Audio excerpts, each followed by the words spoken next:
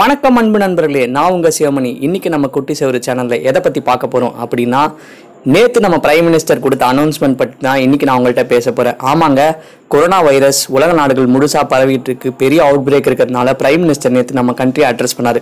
வழக்கம் போல நம்ம பிரைம் மினிஸ்டர் எதை பேசினாலும் நமக்கு என்னடா இவருக்கு வேற வேலையே இல்லை இப்படிதான் சும்மா பேசிக்கிட்டே இருப்பாரு.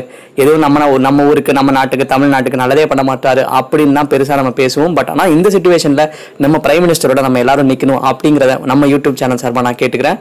பிரைம் மினிஸ்டர் என்ன சொன்னார்னா கொரோனா மிகப்பெரிய ஒரு வைரஸ் அதை நம்மளால் இப்போதைக்கு கட்டுப்படுத்த முடியல. அறிவியலாலேயே இதுக்கு மருந்து கண்டுபிடிக்க முடியல. அதனால் நம்ம எல்லாரும் ரொம்ப சேஃபாக இருக்கணும். நம்ம சேஃபாக இருக்கிறதுக்கு ரெண்டு விஷயத்தை தான் முக்கியமாக பண்ணியாகணும் முதல்ல நம்மக்கிட்ட உறுதி வேணும். இதை ஃபைட் பண்ணுறதுக்கான உறுதி நம்மக்கிட்ட இருக்கணும். இன்னொன்று நம்ம எல்லாரும் நம்மளை ஐசோலேட் பண்ணிக்கணும். அதாவது சோஷியல் கேதரிங் சோஷியல் ஸ்பேஸ்னு ஒன்று இருக்குது சோஷியல் டிஸ்டன்சிங்னு ஒன்று இருக்குது அதை நம்ம எல்லாரும் சரியாக செயல்படுத்தணும் அப்படிங்கிற விஷயத்த சொல்லியிருக்காரு. ஒருத்தர் ஒருத்தர் ஒரு மீட்டர் தள்ளியாவது இருங்க. தேவையில்லாமல் ஒருத்தர் ஒருத்தர் தொடாதீங்க. முடிஞ்ச அளவுக்கு வீட்டிலேயே இருந்து வேலை பாருங்க. இப்படின்னு எல்லா ரிக்வஸ்டையும் நாட்டு மக்கள்கிட்ட வச்சிருக்காரு. முக்கியமாக அவர் ஒரு விஷயம் சொன்னார். அது எனக்கு ரொம்ப பிடிச்சிருந்த மக்களே. அதை நம்ம எல்லாரும் சேர்ந்து பண்ணணும்னு நான் உங்கள்கிட்ட பணிவாக கேட்டுக்கிறேன்.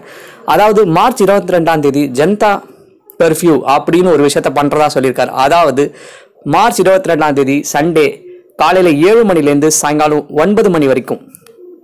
ஐ மீன் ராத்திரி ஒன்பது மணி வரைக்கும் ஒரு கர்ஃபியூ ஏற்பாடு பண்ணியிருக்காரு. அதுல யாரும் வீட்டை விட்டு வெளியே போக மாட்டோம். அதாவது முக்கியமான வேலையில இருக்கவங்க அரசு வேலையில இருக்கவங்க மருத்துவர்கள் நர்ஸ் அதுக்கப்புறம் இந்த வேலையில ஈடுபடுறவங்க மட்டும் வெளியே வந்தா போதும். அன்னைக்கு மத்த எல்லாரும் நாட்டுக்குள்ள நம்ம வீட்டுல இருந்து கொரோனாக்கு எதிரான நம்மளுடைய எதிர்ப்பை வெளிப்படுத்தணும். நம்ம எல்லாரும் தனியா இருந்தாதான் இந்த வைரஸ் நம்மளை தாக்காது அப்படின்னு சொல்லியிருக்காரு. அதோட முக்கியமான விஷயம் அன்னைக்கு சாயங்காலம் அஞ்சு மணிக்கு நமக்காக டயர்லெஸ்ஸா உழைக்கிற ரெண்டு மாசமா ஏர்போர்ட்ல வேலை செய்றவங்க போலீஸ்காரங்க மிலிட்ரி அண்ட் அது மட்டும் இல்லாமல் ஹாஸ்பிட்டலில் வேலை பார்க்குற நர்ஸு டாக்டர்ஸ் மற்ற தொழிலாளர்கள் நமக்காக வீட்டுக்கு எடுத்துகிட்டு வந்து சன்ன சாப்பாடு மருந்து முதலியவற்றை டெலிவரி செய்கிற டெலிவரி பாய்ஸ் இது மாதிரி ஆட்கள் வந்து அவங்க டைமையும் அவங்க உடம்பையும் பொருட்படுத்தாமல் நமக்காக வந்து டெலிவரி பண்ணுறாங்க நம்ம என்னதான் காசு கொடுத்தாலும் இந்த மாதிரி ஒரு டைமில் இந்த மாதிரி விஷயங்களை செய்கிறது ரொம்ப பெரிய விஷயம். அவங்களுக்காக அஞ்சு மணிக்கு நம்ம எல்லாரும் நம்ம வீட்டுக்கு வெளியே நின்று நம்மளுடைய கைத்தட்டல்களை கொடுக்கலாம்.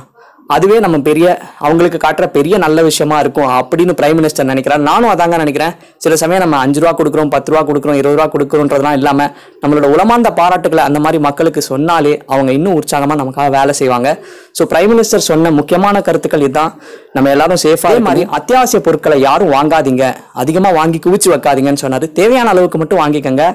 கொரோனானால எந்த பாதிப்பும் உங்களுக்கு வராத அளவுக்கு அரசு எல்லா விதமான நடவடிக்கைகளும் எடுக்கும் அப்படிங்கிற உறுதிமொழியையும் கொடுத்திருக்காரு. ஸோ வீட்டில் பத்து பாக்கெட் பால்லாம் வாங்கி வைக்கலாம் அப்படின்னு நினைக்காதீங்க. ஏனாலும் நீங்கள் அவ்வளோ பால் குடிக்க போகிறதில்ல அது மட்டும் இல்லாமல் ஃப்ரிட்ஜு கரண்ட் கரண்ட்டுன்னு போச்சுன்னா உங்களுக்கு பாலும் கெட்டு போயிடும். ஸோ தேவையான அளவுக்கு மட்டும் வாங்க நம்மள மாதிரியே இன்னொருத்தர் இருக்காரு அப்படிங்கிறத ஞாபகம் வச்சுக்கோங்க.